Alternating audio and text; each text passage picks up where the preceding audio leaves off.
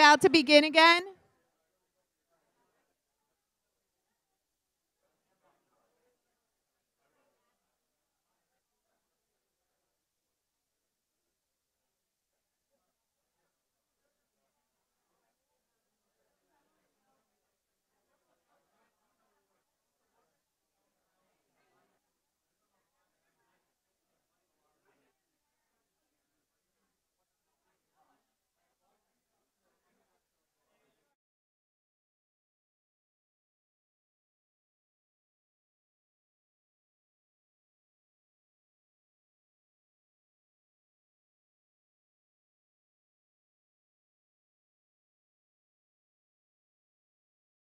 Hey, for those of you who are hanging out out there, there are still some free seats in here too. So if everyone can sit down, we can help identify available seats and, uh, and get everyone seated comfortably in here. Um, is there anyone still out there? Um, yeah, yeah, Gavin, if you could round up who's ever out there and bring them in here, we'd, we'd appreciate this because um, obviously very stimulating uh, conversation here. We want to keep it going. So I'm going to go ahead and um, invite uh, my colleague Swapna Pathak uh, to come up to um, introduce our next, uh, our next panelists.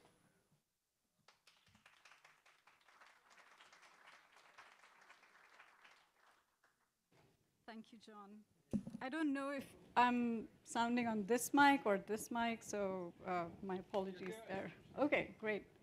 Um, so yeah, I think we got a great segue from the previous session into this one, and uh, we'll continue to dig deeper into capitalism and how to think about integrating it with ecological systems. Um, it's really my honor and privilege to be moderating this session with some great speakers. Um, I teach a class on environment and society, and I use works by all the three speakers that you would hear today, which really talks to the fundamental and critical nature of the work they do. Um, so the way we planned out this particular session is that we are going the conventional route, which is that each um, speaker uh, would come and introduce and talk about these big, deep topics for 15 minutes. And and then uh, we will try to open up uh, the panel for a Q&A from the audience. So um, let me start by giving a brief introduction to our first speaker, Dr. Robert Costanza, who's a leading ecological economist of our time. He is currently professor and chair in public policy at the Crawford School of Public Policy.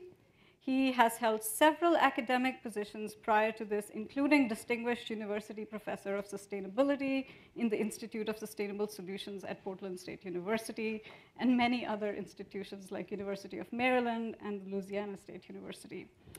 Uh, Bob's transdisciplinary research integrates the study of humans and the rest of nature to address research, policy, and management issues at multiple time and space scales from small watersheds to the global system. He has authored or co-authored over 500 scientific papers and 27 books. Uh, his work has been cited in, mo in more than 17,000 scientific articles, and he's been named as one of the ISI's highly cited researchers since 2004. Bob is co-founder and past president of the International Society for Ecological Economics, and was chief editor of the Society's journal, Ecological Economics, from its inception. So I welcome Bob. for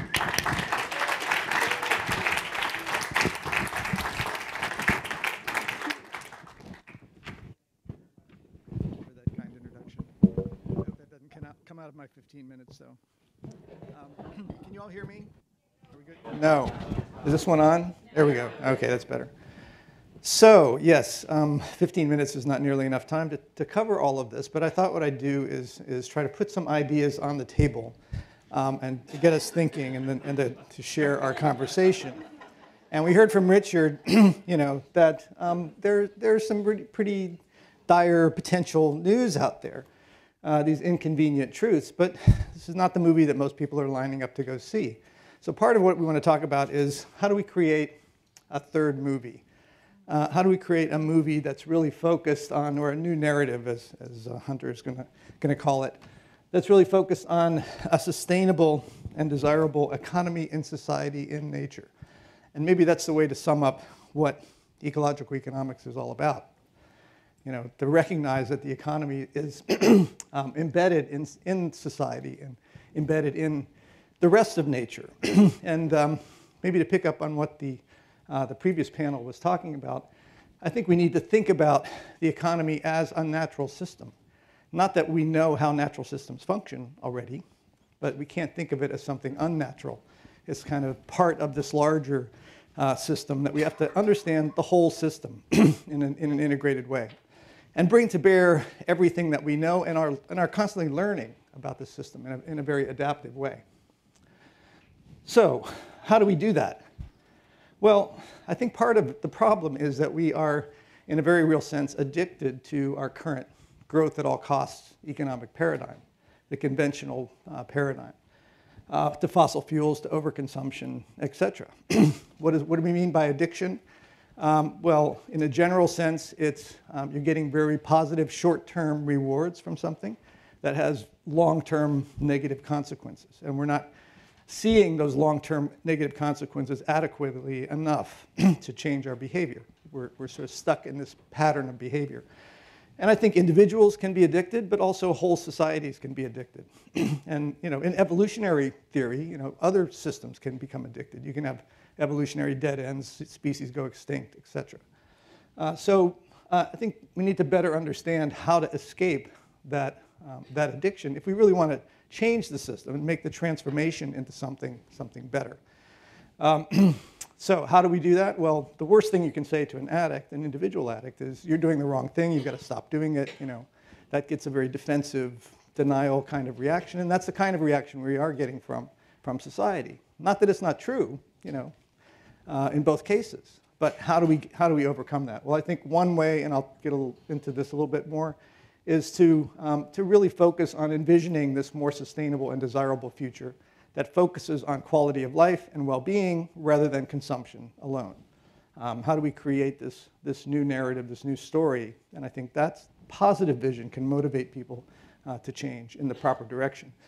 So we know that there are planetary boundaries that we've begun to exceed already. Climate change, biodiversity loss, the bio, the, uh, the nitrogen cycle, we're probably already outside the safe operating space. You've probably seen some version of this, of this diagram before. Um, we also know that within that, those safe boundaries, we need to create the elements of well-being and quality of life. How do we get, how do we get into the, and stay in the donut, as, as it's called? So we have to balance out those, those imperatives. Um, uh, ecological economics is based on these three fundamental goals or, or questions uh, that it tries to address in an integrated way. How do we create an ecologically sustainable scale? How do we stay within those planetary boundaries? How do we have a socially fair distribution of resources, not only within the current generation of humans, but also between the current generation and future generations, and between humans and other species. so equity, fairness has always been a fundamental part of ecological economics. Um, you know, uh, sustainability, uh, planetary boundaries has always been a fundamental part. And finally, how do we have an economically efficient allocation of resources? And that goes well beyond using the market as our only allocation mechanism. It, it requires that we incorporate all of the things that contribute to human well-being and, and how we allocate those, those sort of assets. So it includes natural capital, social capital, all of the things that are outside the market, as well as the things that are, that are currently inside the market, if we really want the system to be efficient. Obviously, our current system is not efficient, it's certainly not fair, and it's, and it's certainly not sustainable. So we need to make this transformation uh, into this new system quite quickly. Um, there have been some significant positive steps, I think, in this direction. Most notably, the UN Sustainable Development Goals. Who's heard of these before? Almost everyone in this room. Okay. so um, I hope you agree this is, this is a really significant uh, step in human history. Never before have has everyone, all governments on the planet have signed on to, to these 17 goals. Of course, there's 17 goals in 17 different silos, and there's 169 indicate tar targets and 300 indicators. And so I think there's still a lot more work to do, but you know, they go far beyond simply maximizing GDP growth. Uh, there is still economic growth as one of them, but at least it's, it's modified as inclusive and sustainable. They couldn't quite change it to prosperity or something other than growth, but I know that was tried in the process. so there's still a ways to go, but still, that's only one out of 17 and includes you know, reducing poverty and hunger and, and health and education and, and, uh, and the uh, inequality is, is addressed in there. Several of them relate directly to the environment, climate, action on climate change, you know, preserving marine and terrestrial resources, uh, peace and justice. So a, good, a good collection there. Um, however, I think the next step is really to understand how these different goals interact with each other. Uh, they're obviously all connected. Uh, it's the first principle of, of ecology, as John, John mentioned. Um, and how they uh, aggregate up to, um, to, to reaching this overarching goal. Um, and I think this is what we need to refocus our society on. We want a prosperous, high quality of life that's equitably shared and sustainable. We want all of those things. Uh, that requires sustainable scale, fair distribution, efficient allocation. It requires, in addition, all of these more detailed goals uh, to be met, but a better understanding also of how they all interact with each other. So need, we, we need a, a more dynamic uh, understanding. We need to understand this as, a, as an integrated system. And I think that's, that's where we need to go. Um, we, need to, we need to recognize that all four of these basic types of assets or capital contribute to sustainable human well-being, and they're all required in a more balanced way to pr produce that well-being. So in the past, we've been focusing on built capital. You know, when we say capital, that's usually what is meant by capital. Built capital, infrastructure, roads, uh, houses. human capital um, is, is often part of the, the equation uh, because it's talking about individual people, their education, their health, uh, their labor, uh, at least in the past. Um, we need to focus much more also on social capital, all of the interactions between people, all of our formal and informal networks, our institutions, our culture. You know, the market itself is a form of social capital. Uh, but the culture more generally is, uh, is, is, social capital.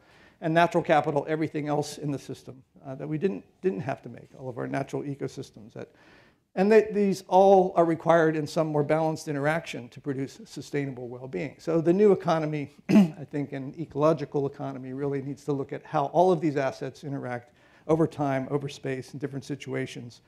And uh, how do we measure sustainable well-being? What is it we're really trying to, to achieve? Um, this idea, I think, is, is uh, getting some traction in maybe some unexpected places.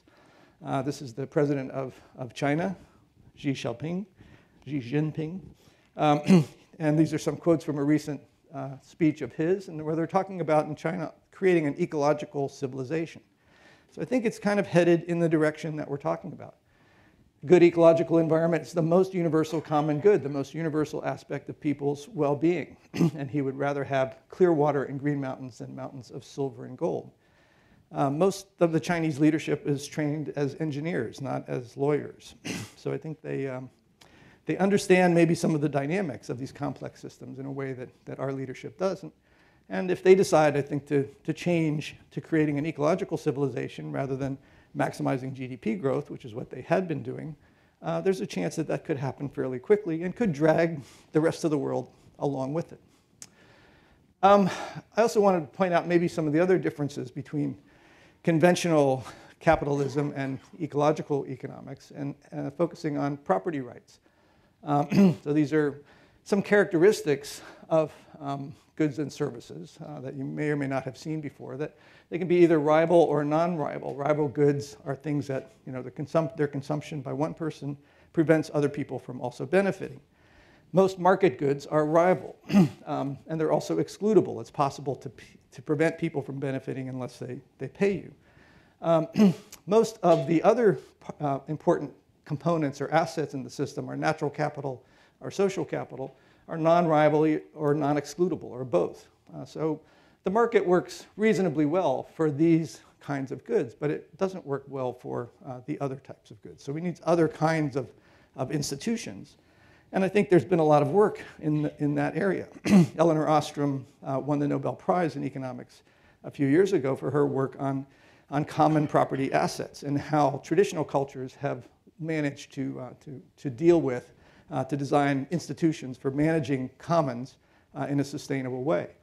So unlike uh, you know, Garrett Hardin's famous book, The Tragedy of the Commons, was really about the tragedy of open access, of not having property rights at all over these resources, but leaving them open access. So we need institutions that can um, limit access to these resources, but and create property rights, but not on behalf of uh, the private owners and using market mechanisms, but on behalf of the entire community. So, for example, uh, we've proposed uh, one way to manage the atmosphere and to deal with the climate crisis is to claim ownership of the atmosphere on behalf of the entire global population. Let's claim the sky. uh, once we've established that the sky, the atmosphere belongs to all of us uh, communally, uh, then we can begin to use property rights and property um, ownership uh, to begin to claim damages for the, for the disruption of that, of that asset. Um, there's something called the public trust doctrine. I don't know if you've run across that, but it maintains that, that governments have the fiduciary responsibility to protect uh, the commons. There have been a couple of successful court cases recently, one in the Netherlands, um, one in, in Oregon. I think there's ongoing court cases that establish that, yes, that is the case. The government has that responsibility. Uh, but how do we sort of force that a little bit more? So the idea here is that we need to get a, a, a civil society movement actually going to claim the atmosphere, to claim the sky, and to force. Uh, this is like a, a sample invoice that we could send to ExxonMobil um, saying, here's, here are the damages. We have this delivered by groups of school children, you know, and have big media coverage.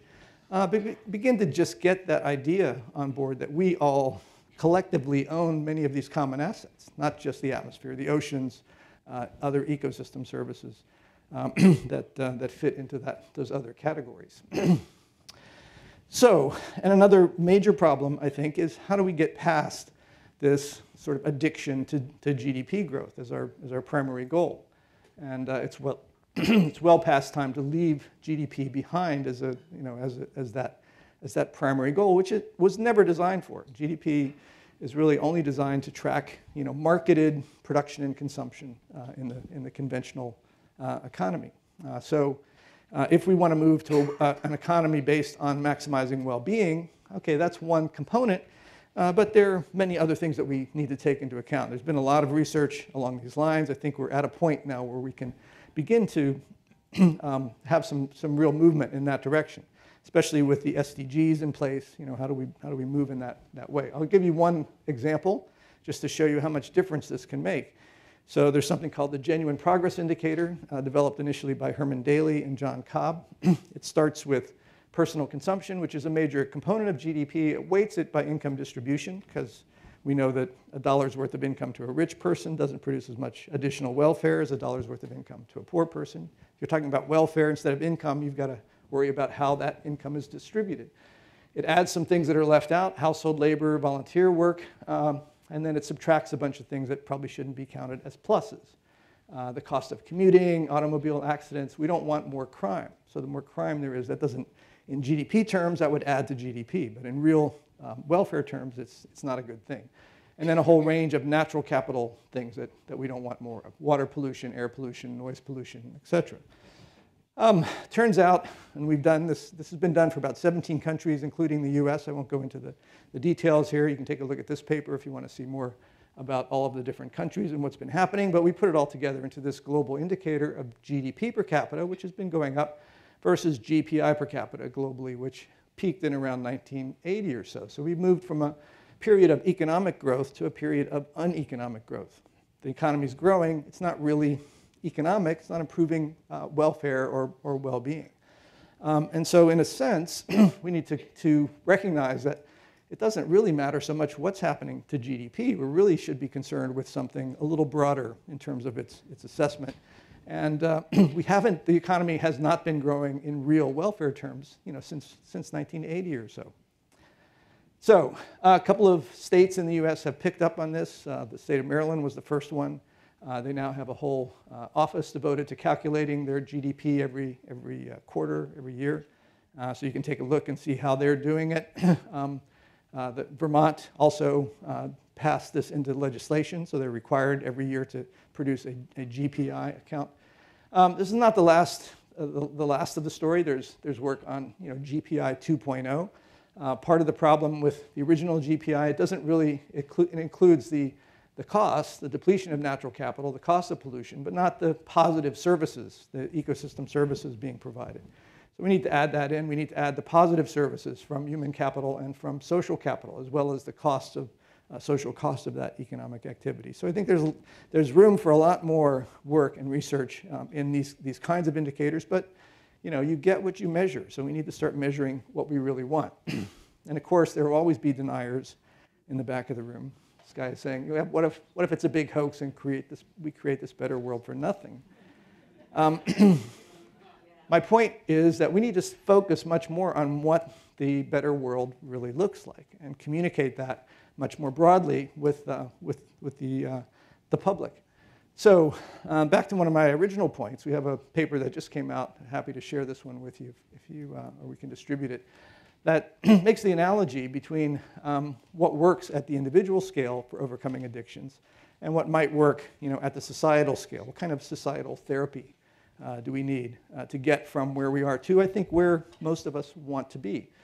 And there's a process called motivational interviewing that seems to be uh, quite effective at the um, individual scale. And it's based on uh, not confronting the addict, but engaging with the addict, uh, you know, and building relationships, getting a focus on what kind of life they would like, you know, is what they're doing really helping them achieve that, that goal. Uh, focus a little more on the longer term uh, kinds, of, kinds of phenomena and use that as a way to engage them in thinking about what kind of changes could, make, could they make to to get to that, to that better world. So um, at the societal scale, um, our analogy is well, we need to engage society in this discussion of what a better world looks like. How do we uh, have a discussion about uh, uh, the kind of world that we want? Uh, so envisioning, uh, scenario planning, I think is another exercise. And one example that we're using is uh, this, this public opinion survey that we had just run in Australia, where we have these four possible futures uh, if you go to this website, I think it's still active, so if you want to take a look at, at how it works in, in detail, um, you click on one of these. It describes each of these possible future scenarios out to 2050 for the, for the country. Free enterprise is kind of the business as usual one. There's community well-being, which is more the sustainability, you know, sustainable development goals scenario, a couple of other uh, possibilities. And then we ask them to, um, after they've read about these possible futures, take a survey and rank them and tell us which ones uh, they prefer. And we also asked them which one they thought the country was, headed, was in and which, which one they thought it was headed toward. Um, the bottom line is that the vast majority of the respondents, over 70%, preferred the well-being, um, community well-being economy uh, or society, uh, fo closely followed by some coordinated action. So this is like more, more government uh, action to control some of these things. Um, but they also thought that they were, the country was in the free enterprise um, scenario and was headed towards the free enterprise scenario. So you get this real uh, divergence between where people want the country to go and where they see it, uh, see it headed. Uh, but having that discussion, I think, is the first step in this kind of societal therapy to, to get a clear consensus on where the, uh, what the goals are uh, for the system. So, um, and I think we also need to publicize much more broadly uh, what some of these solutions might be, and many of the other ones that, uh, that I'm sure you'll be talking about and hearing about at this conference. So, um, who's, who's heard of this journal? Just to give me a, all right, yes. Good, so the word is getting out. we have a special issue actually on the Oberlin project, um, that there'll be copies of that uh, floating around. Um, but um, you know, our rule of thumb is no more than a third of the articles can be about describing the problem, two thirds about describing the solutions. So a venue for having uh, this kind of discussion, getting these ideas out there. In fact, and I think as Hunter will go into a lot more, more detail, uh, the, the solutions are there. Um, they're just not widely distributed, widely known, widely employed. Uh, and so if we really want to make this transition, we have to focus on what those solutions are, what this better world looks like, and also how we can get there. And we just relaunched our website, so take a look at that, and, uh, and I hope you'll, you'll uh, both read it and contribute to it. Thank you.